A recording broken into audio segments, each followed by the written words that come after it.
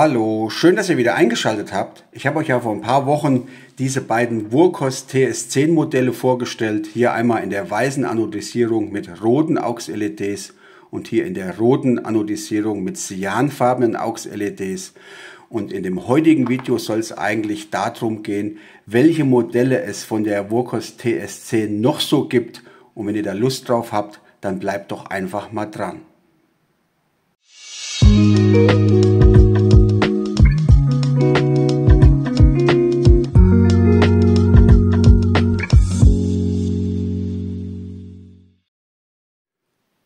Falls ihr neu auf meinem Kanal seid, würde ich mich freuen, wenn ihr mir jetzt ein kostenloses Abo dalassen würdet. Danke dafür. Ja, nachdem ich das Video über diese beiden Workos TS10 Modelle auf YouTube veröffentlicht habe, habe ich mich abends hingesetzt und mir mein eigenes Video nochmal auf dem Fernseher angeguckt. Das hätte ich besser mal nicht machen sollen, weil mein eigenes Video hat mich dazu animiert oder verleitet, mir noch weitere Wokos TS10 Modelle zu kaufen. Jetzt denkt ihr wahrscheinlich, der Heiko ist völlig durchgedreht. Der hat sich vier schwarze, äh, identische Taschenlampen gekauft. Das ist natürlich nicht so. Das sieht nur auf den ersten Blick so aus. Wenn ihr hier mal schaut, habe ich hier zum einen die Messing-Ausführung mit 4000K und grünen AUX-LEDs. Die habe ich direkt bei Wurkos bestellt. Genauso wie die Titanium-Kupfer-Ausführung, ebenfalls in 6000K also die beiden habe ich gleichzeitig bei Wurkos im Shop bestellt. Übrigens kam mit der Lieferung dazu noch kostenlos diese Wurkos WK04 4750 bis 5000 Kelvin. Was das für eine Lampe ist, das zeige ich euch auch in einem der nächsten Videos. Ich meine, wenn ich die Lampe schon habe, warum soll ich da nicht auch ein Video drüber machen? Ja, die beiden sind dann irgendwann angekommen. Ich war immer noch nicht so ganz zufrieden, habe mich dann noch mal hingesetzt diesmal bei der eBay Kleinanzeigen App geschaut. Ja, da habe ich dann die Titanium Blue Version entdeckt, ebenfalls mit 6000 Kelvin. Ja, habe ich natürlich sofort zugeschlagen. Und dann hier ebenfalls aus der Kleinanzeigen App die Titanium sandgestrahlte Ausführung, ebenfalls mit 6000K. Ich habe mir übrigens mittlerweile ein Rode Mikrofon zugelegt. Ich hoffe, die Tonqualität wird, wird ab sofort jetzt besser. Ihr könnt es ja mal in die Kommentare schreiben, gerade wenn es um die Praxisaufnahmen draußen, hinterm Haus, wie auch immer, auf dem freien Feld geht, ähm, müsstet ihr mich jetzt in Zukunft eigentlich besser verstehen können. Ich würde sagen, ich packe jetzt die vier Taschenlampen mal aus und zeige euch diese mal Eins wollte ich vorher noch sagen, es gibt außer den Titanium-Versionen und der Messing-Version auch noch eine TS10 aus Kupfer. Die habe ich leider nicht. Ich finde auch keine mehr. Ich äh, finde keinen Shop mehr, außer einen Shop in der Schweiz. Da wird die Lampe noch angeboten, aber da ist der Preis mir etwas zu hoch. Also von daher den Aufruf an euch, falls jemand von euch die TS10 in Kupfer zu Hause hat und diese nicht mehr unbedingt benötigt, kann er sich natürlich mit mir gerne in Verbindung setzen. Wir werden uns da ganz bestimmt einig. So, ich packe die Taschenlampe jetzt mal aus und wir hören uns gleich wieder.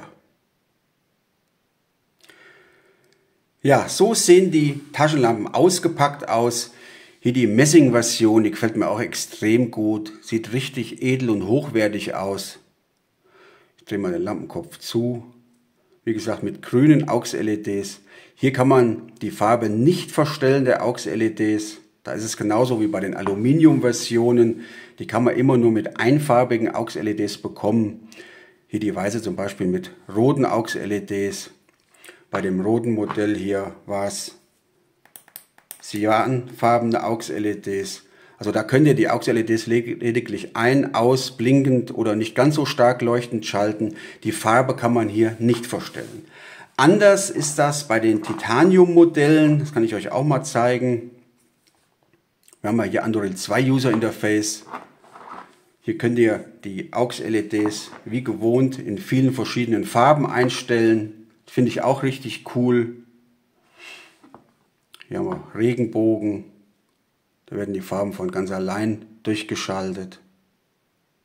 Ihr könnt natürlich auch, ups, nur eine Farbe wählen, siebenmal drücken und halten.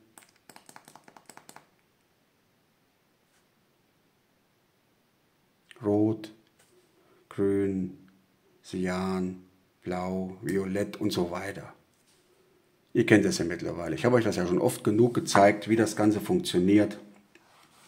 Ja, dann hier auch eins meiner Lieblingsmodelle, Titanium Kupfer. Sieht auch richtig, richtig edel aus. Schaut euch die wunderschöne Lampe mal an hier. Ganz, ganz tolles Modell. Sehr hochwertig verarbeitet. Da quietscht nichts. Da knarzt nichts.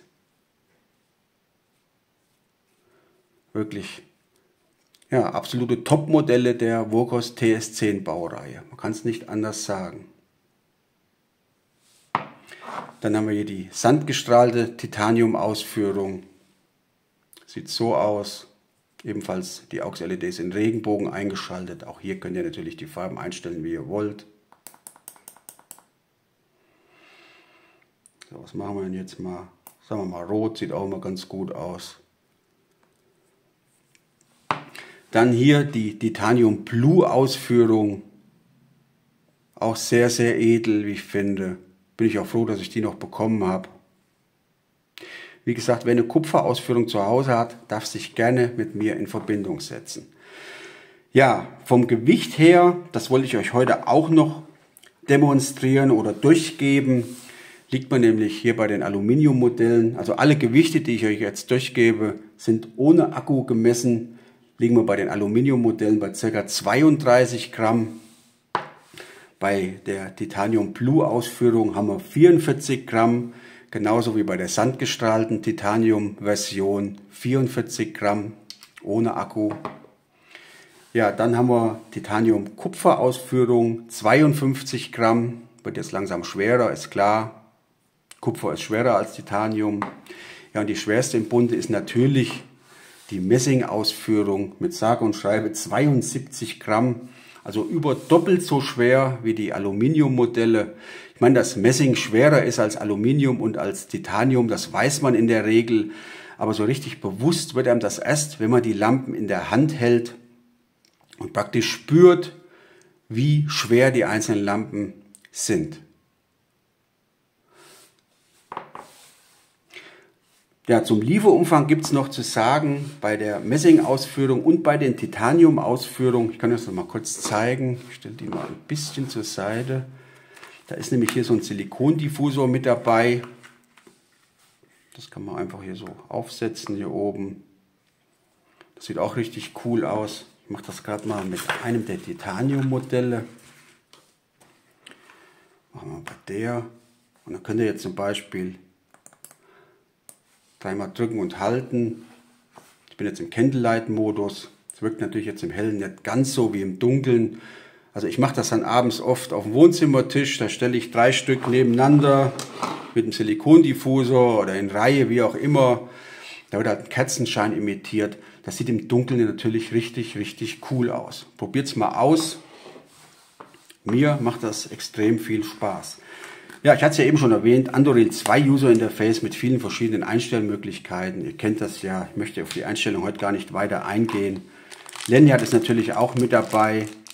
Zwei Ersatzohrringe sind mit dabei. Das Sicherungsblättchen, das man natürlich vorerst in Betriebnahme entfernen muss. Dann der Edelstahlclip ist auch mit dabei. Ja, so viel dazu. Jetzt wollt ihr wahrscheinlich noch wissen, wie viel die einzelnen Modelle kosten. Ich habe jetzt bei Wurkos mal geguckt. Also da liegt man preislich für die Aluminiummodelle bei ungefähr 18 Euro. Wer Interesse an den Lampen hat, dem verlinke ich das Ganze natürlich mal hier in der Videobeschreibung. Also wie gesagt, ca. 18 Euro für die Aluminiummodelle. Der Preis für die Titanium Blue Ausführung liegt aktuell bei ca. 43 Euro. Bei der sandgestrahlten Ausführung liegen wir aktuell bei ca. 39 Euro. Bei der Messing-Ausführung liegen wir aktuell, ich meine, bei 30 Euro. Ich hätte um die 30 Euro, habe ich glaube ich dafür bezahlt. Und Titanium Kupfer liegen wir aktuell bei 39 Euro inklusive Akku. Wer die Akkus nicht braucht, der kann die Lampen auch ohne Akku bestellen. Dann kosten die Lampen nochmal ungefähr 2,20 Euro. Um den Streich weniger. Ja, die Preise bei Amazon schwanken derzeit zwischen 20 und 38 Euro. Allerdings habe ich dort nur die Aluminiummodelle gefunden und zwar nur die schwarze, rote und silberne Ausführung. Das wird sich bestimmt auch noch mal ändern. Wie gesagt, wer Interesse an den Lampen hat, dem verlinke ich den Wurkos Shop und den Amazon Shop auch mal hier in der Videobeschreibung. Und wer möchte, kann sich da natürlich gerne mal umschauen. Ja, und nicht zu vergessen, wer eine Kupferausführung zu Hause hat, äh, ja, darf sich nicht nur, der muss sich unbedingt mit mir in Verbindung setzen, weil ich möchte die Lampe unbedingt haben. Wenn ich das hier sehe, dass die ganze komplette Lampe dann aus Kupfer ist, ja, das sieht dann auch schon richtig, richtig edel aus.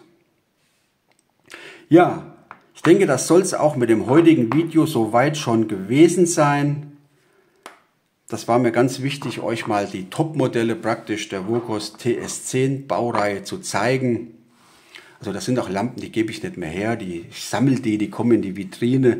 Die werden auch nicht großartig genutzt, da bin ich ganz ehrlich. Ich bin ja auch ziemlich Taschenlampen verrückt mittlerweile und äh, habe da so meine Lieblingsmodelle natürlich auch, die ich eigentlich gar nicht nutze, weil die Lampen mir eigentlich viel zu schade dafür sind. Kennt ihr das? Der eine oder andere wird das wahrscheinlich nachvollziehen können.